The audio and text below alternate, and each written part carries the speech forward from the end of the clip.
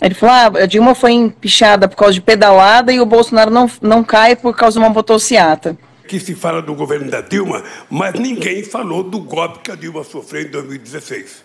Ninguém falou, sabe, que derrubaram uma mulher por causa de uma pedalada e não se derruba um cara por causa de uma motociata. O que, que ele faz com aquilo ali? Tem gente que, pô, a gente, né, que tem mais pre preparo, estudo e sabe o que, que foi pedalada fiscal e pedalada da Dilma a gente fica rindo, né? Falar até parece, né?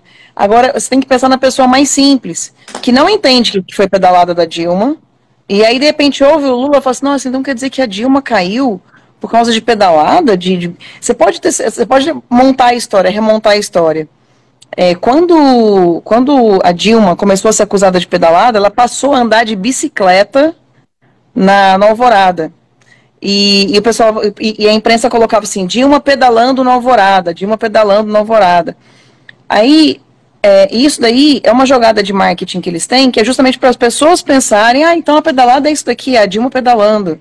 E agora ele solta essa, da pedalada com a motociata, que é para pensar que foi um golpe realmente, entendeu? Ali tá querendo atingir o público do Botafogo.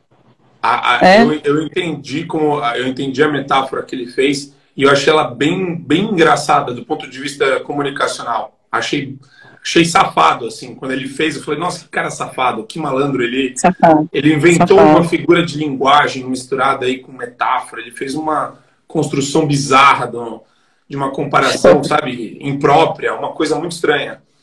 Mas, mas agora eu entendi sobre essa perspectiva que você está falando.